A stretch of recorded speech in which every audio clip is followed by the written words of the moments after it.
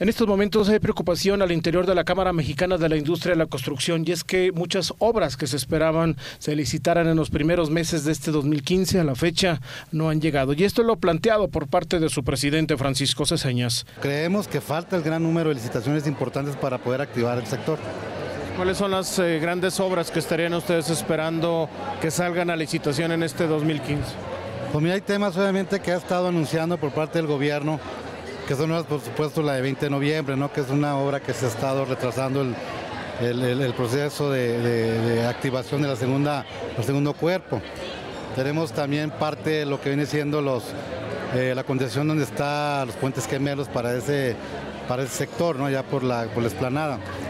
Tenemos también parte de la inversión que se va a hacer en la, ciudad universitaria.